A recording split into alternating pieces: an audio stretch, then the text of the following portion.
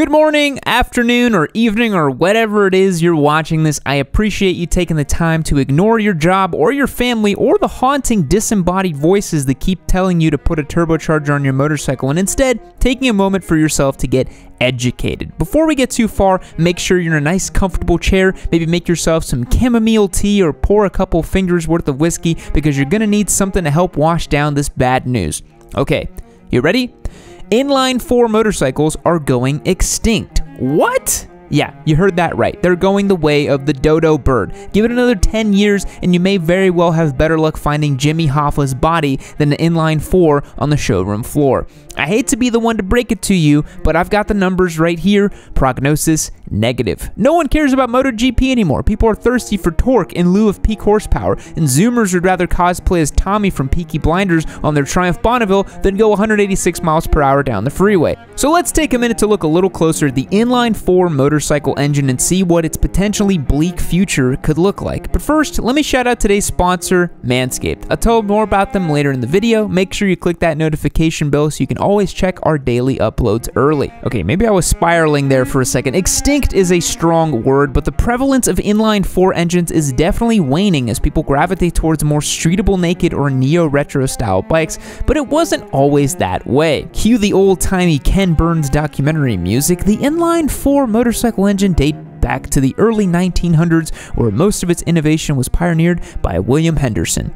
Through multiple mergers and acquisitions, Henderson developed inline four cylinder motorcycles for Henderson, Excelsior, and Ace motorcycle companies, the latter being ultimately bought out by Indian in 1927. Excelsior motorcycles, owned by Schwinn Bicycles, had developed an industry leading four cylinder motorcycle that was capable of reaching 100 miles per hour in the late 1920s. Jesus Christ, going 100 miles per hour on one of these bikes feels just about as safe as going 100 on a bird scooter. After the stock market crash of 1929, they discontinued Excelsior and would stick to producing affordable bicycles, which were more easier to sell during the Depression. Manufacturers think they have it tough now with the global pandemic and impending economic recession. Imagine trying to hustle motorcycles during the Great Depression and two world wars. Hey, look, I know your family of six is eating raw potatoes for every meal, but I'd like to speak about you to the benefits of Yeet Energy. Indian also produced a motorcycle with a four-cylinder engine called the Indian 4 original. Interestingly, the four-cylinder motorcycle engines of this era were mounted longitudinally in line with the frame, not transverse like you would see in the late 60s and onwards. Indian made their four-cylinder motorcycle up until 1941 when falling sales and production limitations from the war effort forced them to stop production. MV Agusta was actually the first manufacturer to pursue a resurgence of inline-four motorcycle engines in the 1960s. Like a lot of advancements in motorcycling in this time period, MV had first developed the engine for implementation on the racetrack before putting it into production in the 600 GT. Commercially, the 600 GT kind of tanked because there wasn't enough pretentious riders at the time who wanted to refer to their motorcycles as art instead of actually riding them. It wasn't until Honda developed the CB750 in 1967 that inline four-cylinder motorcycle engines became the gold standard for speed and performance. We have a whole deep dive video on the Honda and the CB750, so you've want all the nitty gritty details on that. So for today's purposes, I will try to keep the CB750 simping to a minimum. In short, Honda wanted to develop a motorcycle geared towards American riders. Their smaller displacement motorcycles just weren't equipped to schlep around real corn-fed patriots like Harley and Indian could with their big V-twin engines. In order to compete, they opted to build what they called the King of Motorcycles. The CB750 had a 750cc transverse inline 4 engine that left more room in the frame and provided optimal air cooling across all four cylinders. This motorcycle was such a success, it changed the paradigm for production motorcycles and created a new expectation for high-performing four-cylinder engines. The CB750 gave way to the UJM era where the big four were neck and neck in creating the biggest and fastest four-cylinder standard motorcycles, like the Z1 from Kawasaki and the XS1100 from Yamaha. The inline four may be going extinct, but do you know what else is? Hairy balls. That's right, guys, it's time to get with the program. You've been hearing the snickers in the locker room. You're the last of a dying breed of bush dwellers, and you do not want to fall into obscurity only to be recognized as a relic of the Paleolithic age. Luckily, Manscaped has got you covered. Give yourself the maypole makeover you deserve with the Platinum Package 4.0. The Platinum Package comes with the Skin Safe Lawnmower 4.0 trimmer, the Weed Whacker Ear and Nose trimmer, Crop Preserver Ball Deodorant, and Crop Reviver Toner Spray, plus a handful of other goodies to get you feeling like a modern man instead of a Cro-Magnon from the Natural History Museum. If you follow the link below, you'll get 20% off plus free shipping. That's manscaped.com slash yammie for 20% off plus free shipping. Thanks, Manscaped. Now back to the program. The inline four cylinder became the engine of choice for powerful sporty motorcycles because of their smooth and balanced power, reliability, and fitment. Every top tier liter bike or 600cc class motorcycle from the past two decades has come equipped with a transverse four cylinder engine, except the Daytona, of course because we have to be different.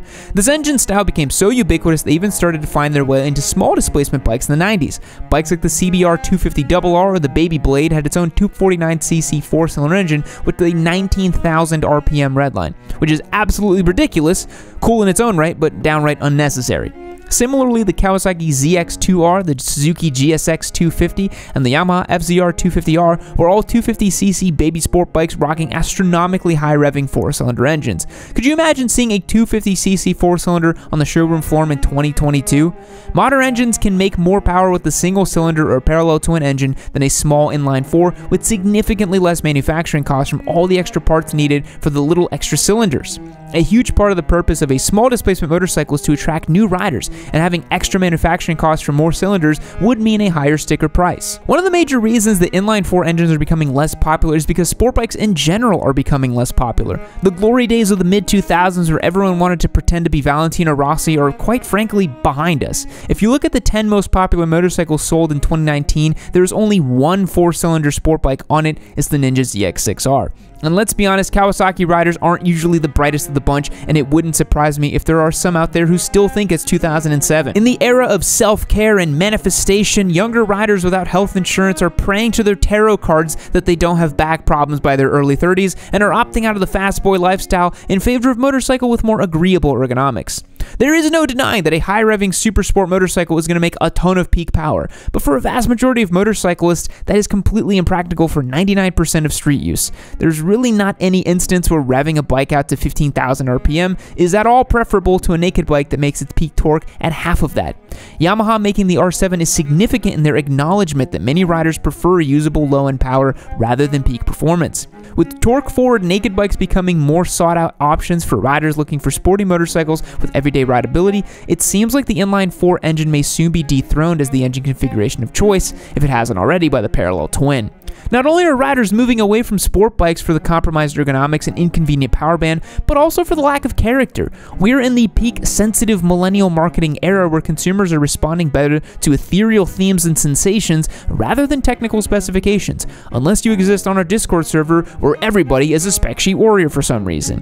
While this can be seen happening across the board, I mean, come on, have you seen that tearjerker of a Dove soap ad? It's also happening in motorcycling. I feel like we talk about the heritage, nostalgia, and character of a bike as often as we do its power figure these days because that's what many people are motivated by. And in that spirit, an inline 4 sport bike just doesn't fit the bill for character.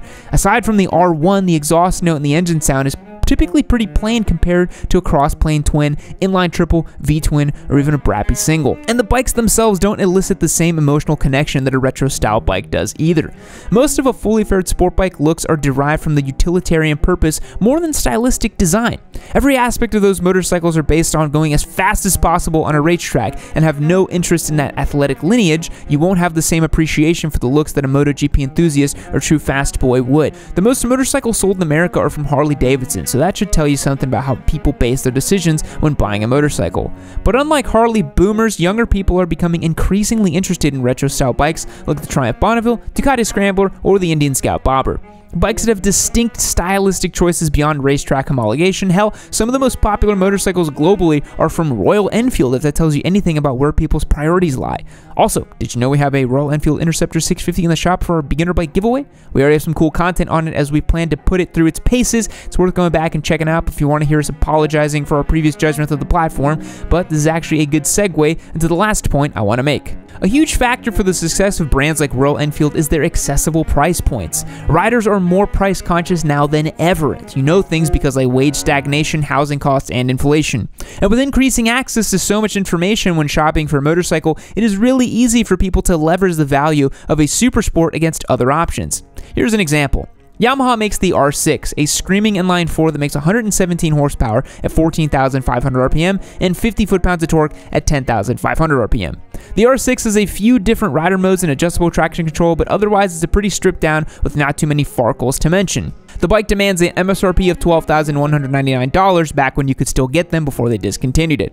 Let's compare that with a naked bike like the Yamaha MT-09 that makes 119 horsepower at 10,000 RPM and 68 foot-pounds of torque at 7,000 from its inline three-cylinder engine. So not only is it more power from the MT-09 a lot more usable on the street, it comes with a TFT dash, 6-axis IMU, an up-down quick shifter, oh yeah, and its MSRP is just $9,499. Another point I want to make is the prevalence of V4 engines. We talked about how MotoGP is not really that interesting to people nowadays, but the V4 platform is becoming more and more competitive and it's harder and harder for inline fours to compete against it. The only inline four bike left on the MotoGP grid is the Yamaha. With Suzuki having left and Honda going with the V4 platform many, many years ago, every other bike on the grid is a V4, combated with the fact that most Ducatis and Aprilias nowadays also use V4 engines because of that oh so juicy character. Like I touched on earlier, inline 4 engines cost more to produce and are currently only really used in super sport style motorcycles that are designed for peak power at high revs. And if you don't intend on doing most of your riding on the track and you don't have that emotional connection to super sport style motorcycles that makes you want to Rossi cosplay on the street,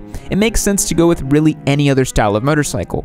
You can have a bike with more agreeable ergonomics, cooler style, more usable power, and a more exciting engine character for oftentimes less than the cost of an inline 4 super sport. And the other elephant in the room is that Japan printed out so many of these sport-oriented inline 4 motorcycles that we'll be able to buy used versions of these bikes for probably the next 15 years in decent condition. I think a lot of riders are coming to this conclusion lately and motorcycle manufacturers are taking notice. And if manufacturers don't send these bikes to a farm upstate, the EPA might have to take them out the shed and do it themselves.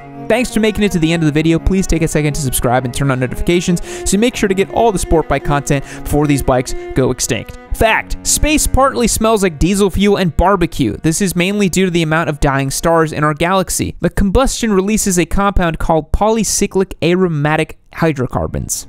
Goodbye. Well, look at you. You've made it to the end of another Yammie Noob video. You should consider yourself pretty lucky because I have curated this one right over here for you to continue watching. It's probably just as good as the one you just saw. Unless you hated the one you just saw. I don't know, maybe leave me a comment down below about how much you hated it as well too. Or just keep watching this one. Make sure you keep watching Yammie Noob. Don't forget to keep watching Yammie Noob. That's the most important thing. Keep watching Yammie Noob.